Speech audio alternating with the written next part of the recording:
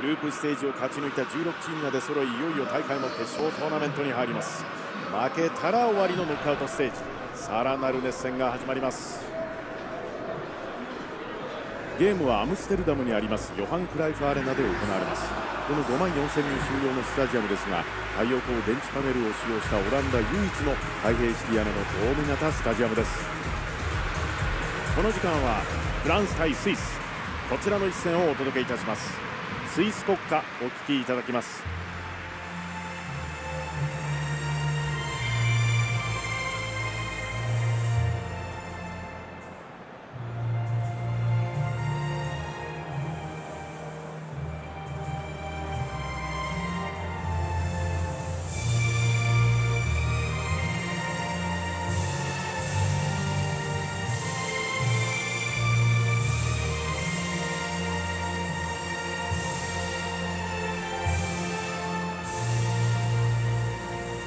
続いてフランス国歌です。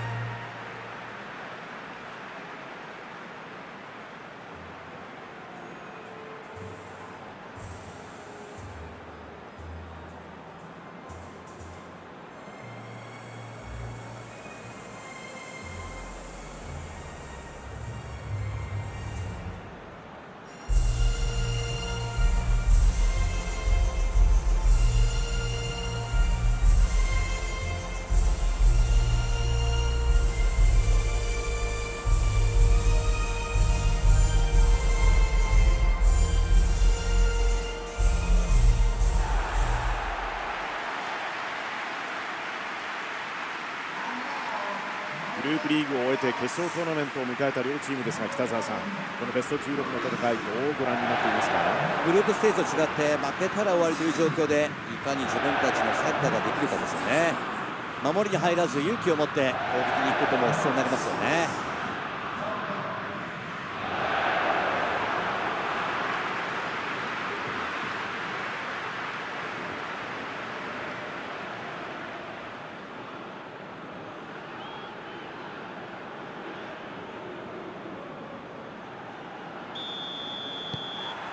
ランスのキックオフでスタート。ウェファユーロ2020決勝トーナメント1回戦。フランス対スイス。トーナメント初戦なんで、えやはりこう試合の入り方、うん。そこが一つのポイントになってきますよね。はい。クレモン・ラングレ。カンテ。長いボールを送ります。ジルーからマテュイディチェックを受けますが動じません。サイドのスペースを使います。ジルーからメンディこのクロスは相手選手に当たりゴールラインを割っています。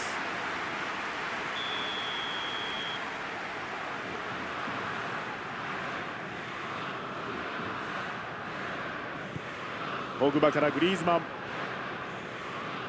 中に合わせてくるか。フリーで受ける。ユムティティ。ジャカ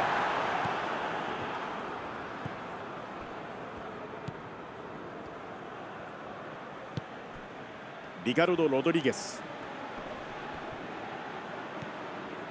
ジャカ大きく縦へふわっとしたボール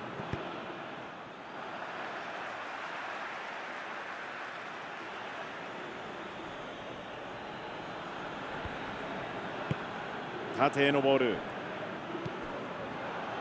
カンテ。ジルーからグリーズマンボールのこのパス。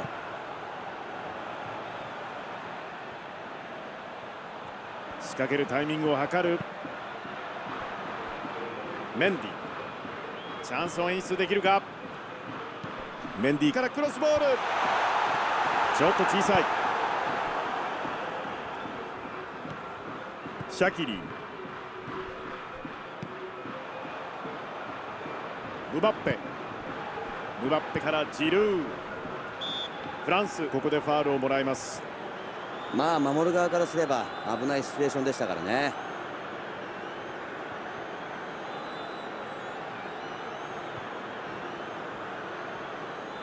これは直接狙える位置です。ここで先制しておきたいところでしょうね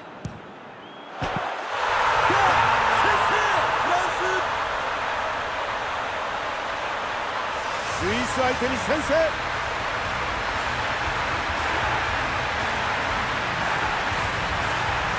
直接ゴールに叩き込みました。この辺をきっちり決めてくるっていうねチームにとっても監督にとっても非常に頼りになりますよね。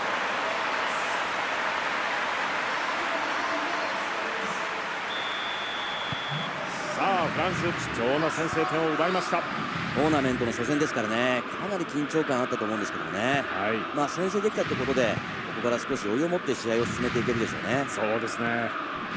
サイドを使います。右サイド上がる。うまいですね。さあコーナーキックスイス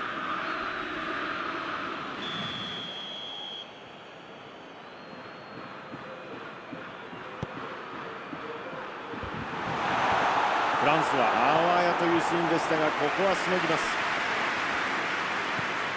スイスは先ほどからサイドバックが随分と高い位置を取っていますね。そうですね。全体的に押し上げるイメージで、はい。相手が引いている時なんかには有効な戦術になりますよね、うん。ただサイドの裏のスペースのケアは必要になってくると思うので、はい。中盤の選手が1枚下がってバランスを取るなどした方がいいですよね。う、ん。まあ攻守の切り替えまさにこれがポイントですよね。そうですね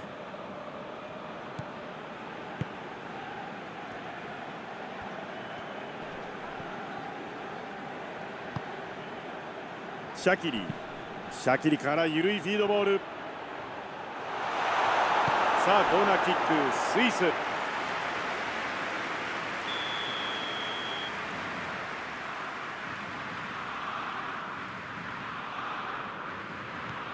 セフェロビッチ。一旦前を取る。中上げる。これはクリア。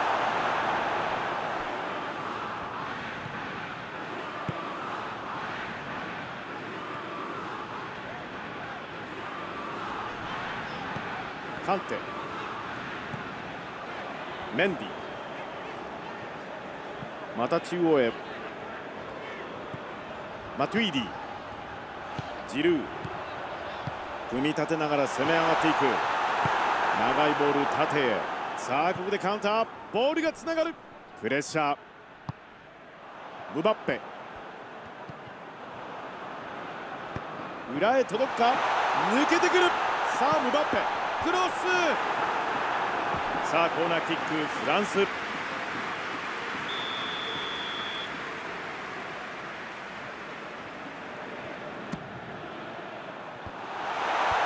リアが浅い。ボールを受けて。あそこまでゴール前に人が集まってしまうとシュートコースがなくなってしまいますよね。カウンターですよ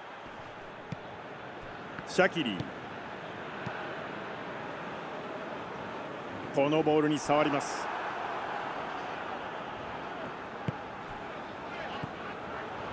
ユムティティ。マトゥイディ。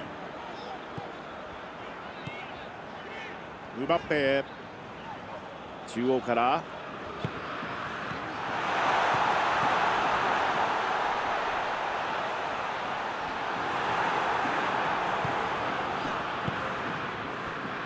シャキリ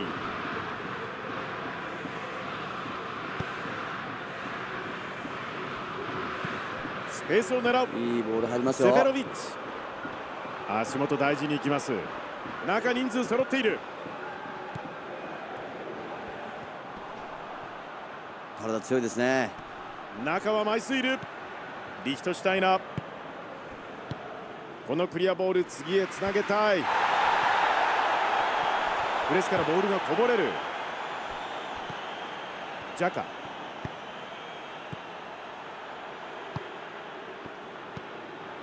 グリーズマンからジルー。カンテ。ふわっと裏を狙う。このボールはカットされます。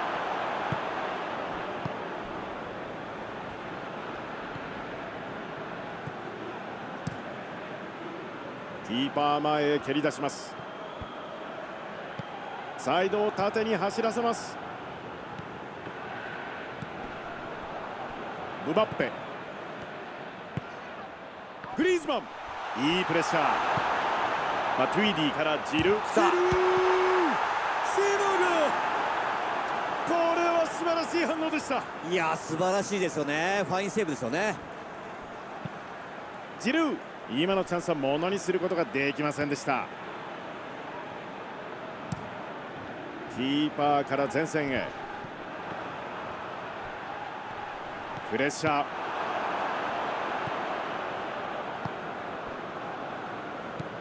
ジャカ。前半30分を経過しています。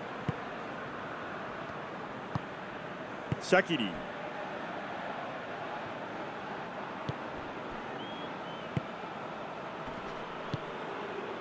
フレールエンボロ。さあ左サイドへ。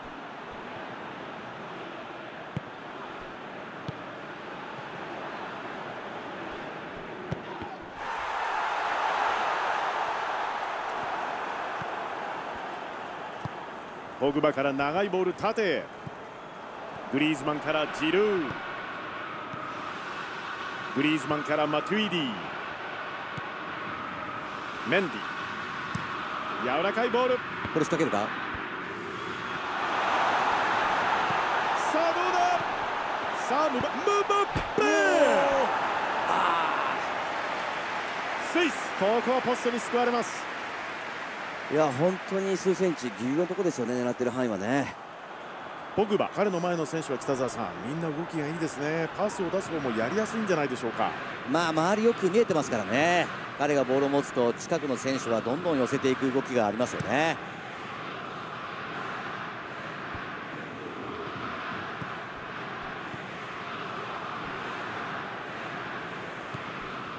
ニコエル・ベディ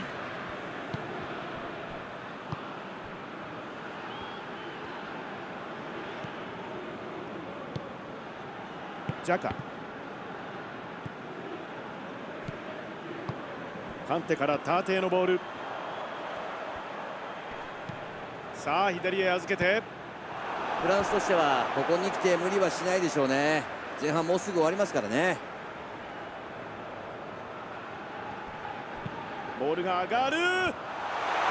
ちょっと浅いか大きく縦へ。リカルド・ロドリゲス。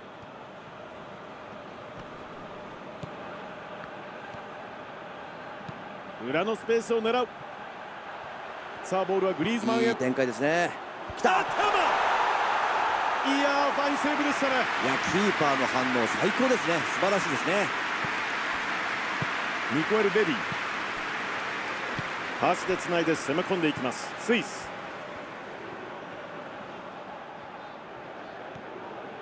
裏のスペースを狙う。ここも堅い守りでボールを奪います。フランス。長いボールを送ります。スルーパスを出す。この位置でボールを受けます。ここは間合いを取る。前線にボールを送ります。さあ一気にカウンター。リカルド・ロドリゲス。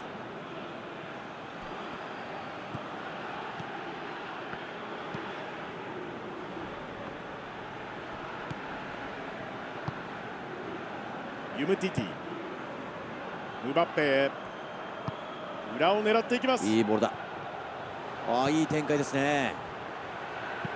中へのクロスニコエル・ベディ危ないシーンでしたがここはクリアの対応。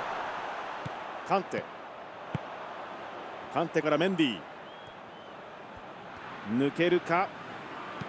メンディが中央へ折り返す。これは直接キーパーへ。このスルーパスは通りません。レオ・デュボア。素早いパスで攻め上がっていきます。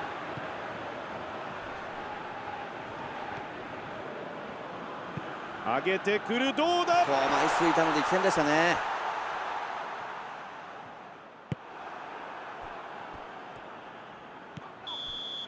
ここで前半が終了しました。45分間戦って1対0フランス先制して前半を折り返しています。いい前半でしたよね。中盤でシンプルにボールを回しながらチャンスを作ってますよねウエファユーロ2020決勝トーナメント。フランス対スイス。フランスが1点先制して前半を折り返します。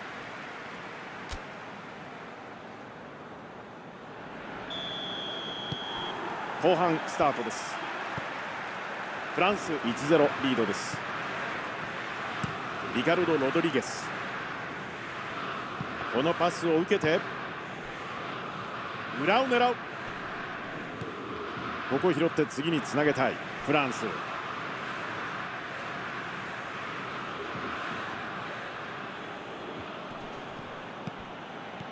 もう一つ前に行きたい。シャキリからシュートいやー同点スイス。ここでスコアを同点にします。いいですね。熱い一発になりそうですね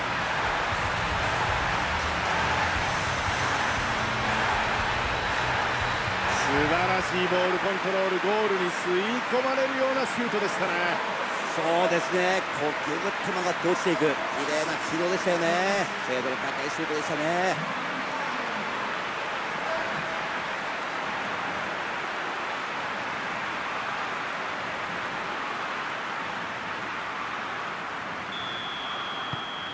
これで今日のゲーム面白くなってきましたワールドクラスになってくるとスーパーゴールが見たいという期待反面、え実際ビッグチャンスをそう簡単に作れませんからね、はい。両チームともここっていう時に決めてきてる結果なんですよね。えなるほど。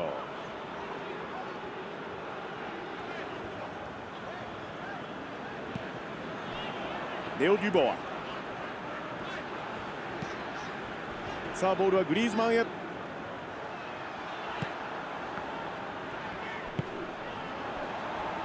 メンディ絶好の位置シュート。フランス。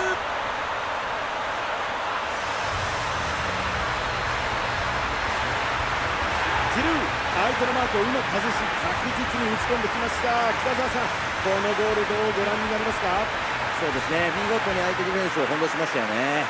これは普段絶対に開かないところにバイタルできましたからね崩し方も良かったですけどもさらにこういうチャンスを確実に決める正確さがまた素晴らしいですよね。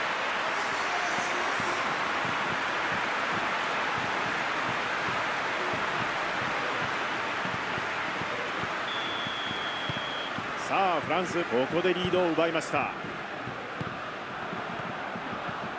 グリーズマン。ムバッペへ。レオ・デュボア。スルーパス。ムバッペが受ける。この位置で受ける。中は枚数います。中央。これを拾いたい。スイス。フリーだ。グリーズマン。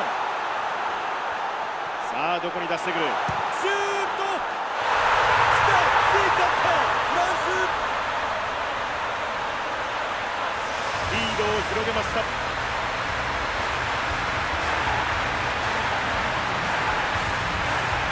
素晴らしいパスワークからのゴールが生まれました。いやーつなぎながら見事に相手を崩しましたよね。技術的なところもそうですけども選手同士の連動が見事ですよね。グリーズマン。今日2点目です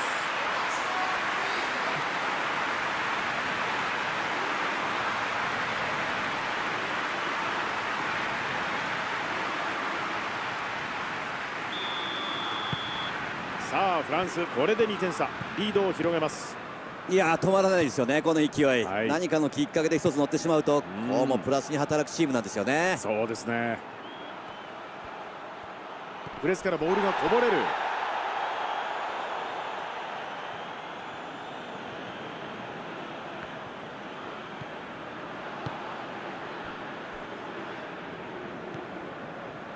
カンテ。クレモン・ラングレ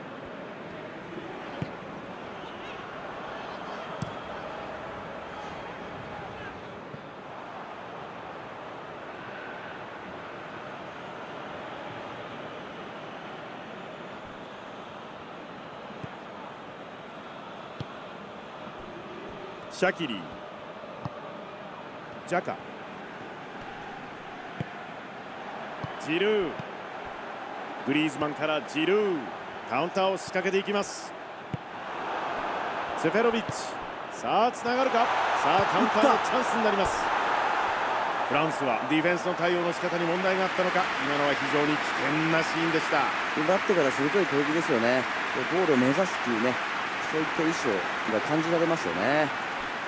フランスは嵐のようなカウンターなんとかしのぎました。うんあの形からのフィニッシュは一点物ですよね。シュートミスをしてくれて助かりましたね。ちょっと集中力が足りないかなと思いますね。ニコエル・ベディ。ニコエル・ベディから大きく縦へ。このパスを防ぎます。リヒトシュタイナーからのパスは通りませんでした。レオ・デュボアスイスとしては先ほどから守備がマークの相手に対して一つ距離を置いて構えてますけども、うん、背後のスペースを意識してるんでしょうね。それはスルーパスの対策ということになるんでしょうか？そうですね。浮かせたスルーパスなんかにも効果的ですよね、うん、ただ常に相手と一定の距離を保つマークをしているのでだんだんラインが後ろに下がってきてしまうんですよね、はい、そうすると中盤にスペースができやすくなってしまうので、ええ、しっかりと味方の中盤がボールに寄せて起点を潰すケアが必要になってきますよね、うんまあその相互理解がないと穴が開いてしまうってことですね。そうなんですよね。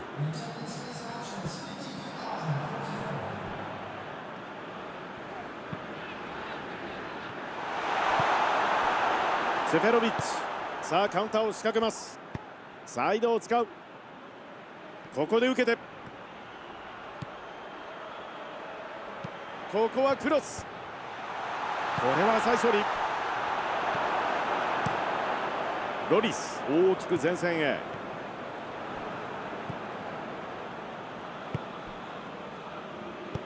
ジャカから左へ。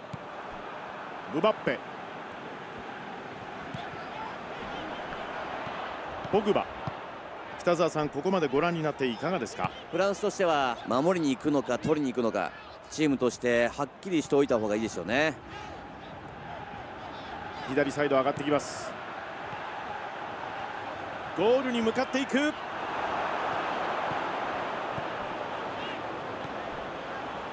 ゴール前ちょっと混戦状態でしたからね。シュートコースがなかったんじゃないでしょうかね。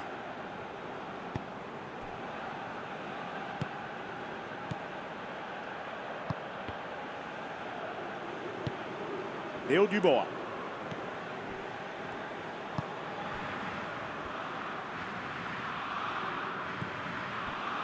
ユムティティ。ポグバ。細かくパスをつないで攻め込んでいきます。ムバッペからグリーズマン。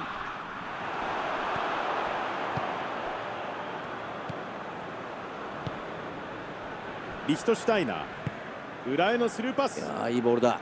この位置で受ける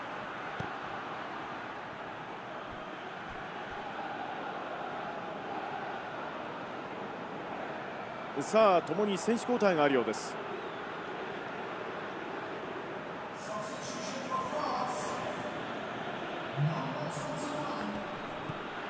リヒトシュタイナさあどうする？縦へのボール。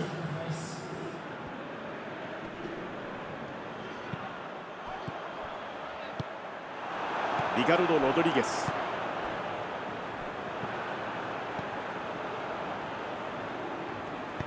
スルーパスを狙う。いいボールですね。ムバッペからパワール。クロスを上げる。このクリアボール拾いたい。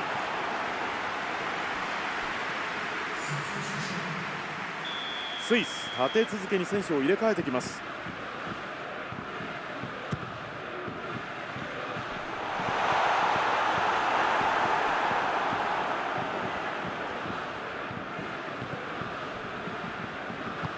裏を狙っていきます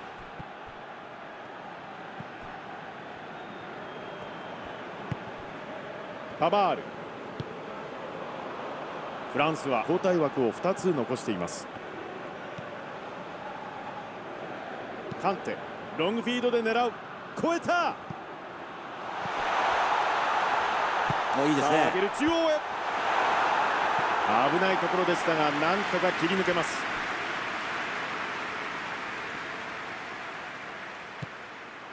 ムバッペからマテュイディいいシュートでした。フランス。決まってればもうゲームは決まってますよねこれね。フランス。入ってもおかしくない決定的なシーンがありました。さあ再び選手の交代です。フランス。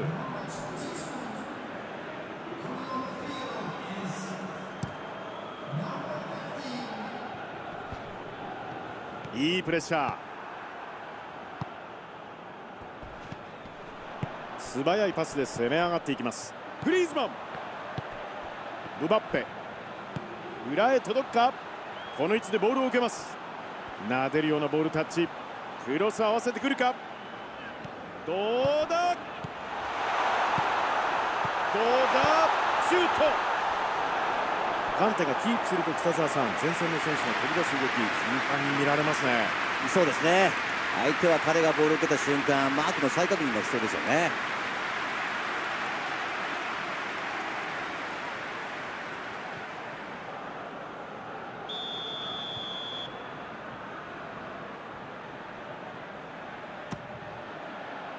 頭できたこのヘッド抜くわれませんでした。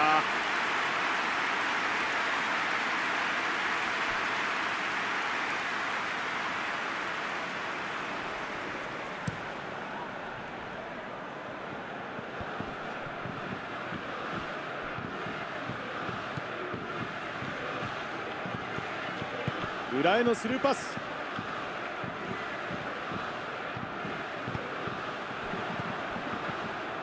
サイドへ。仕掛けるか？ミドルスイスビッグチャンス。ものにできません。いやこの時間帯で打つっていうことは大切ですよね。外れはしましたけどね。グリーズマン本日2ゴール。さあハットトリックまであと1点です。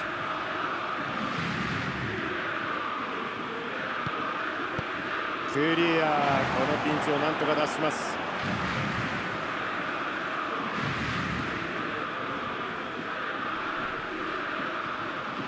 けるか？さあどうだ？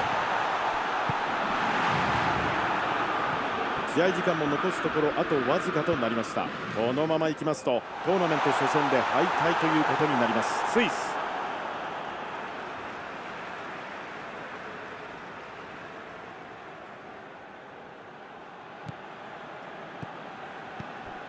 ユカ・エルナンデス。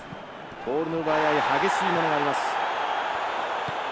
ジルーどうする？シュート。もう一回。丁寧に足元を使う。ムバッパ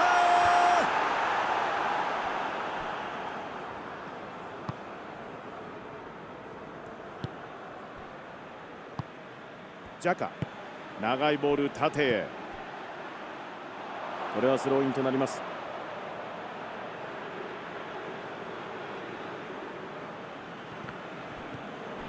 パバール。フランスもう無理にはいきません。カンテ。フレモン・ラングレ。ユムティティ。組み立てながら攻め上がっていく。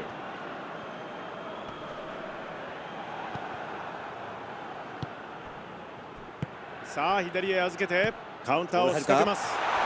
シュート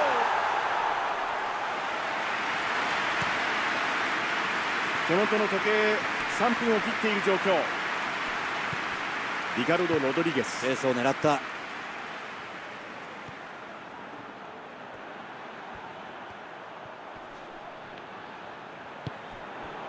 ムバッペ。おっと。スイスボールです。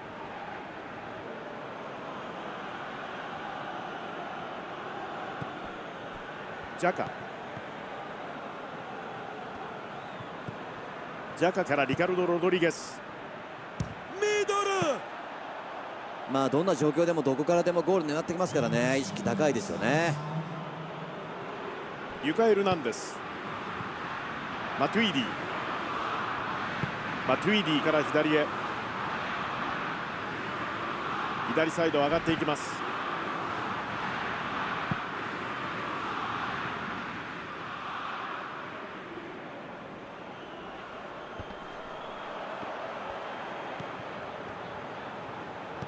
ボールが迫る。どうだ？ここ拾って次につなげたい。スイス。リカルド・ロドリゲス。裏を狙っていきます。自分で行く。いけるか？セフェロビッチ。サイドを使います。さあどうするミドル少し時間を使いすぎたか。最後うまくいきません。時間をかけると守備の陣形が整ってしまいますからね。ちょっと焦りがあったかもしれませんね。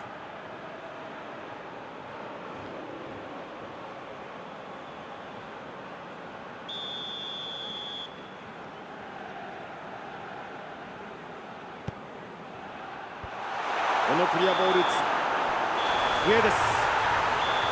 3対1フランス1回戦を勝利しました。北澤さん本日の対戦何かコメントございますか？フランスとしてはトーナメントの初戦ということである程度の緊張感を持ってこの試合に挑んだと思うんですけどプレーを見ていても非常に落ち着いてましたし試合をうまくコントロールしてましたよね。そうですね。ありがとうございます。さあそろそろお別れの時間です。解説は北澤剛さんにお願いいたしました北澤さんありがとうございました。ありがとうございました。ウエファユーロ2020決勝トーナメント1回戦。フランス初戦をものにしました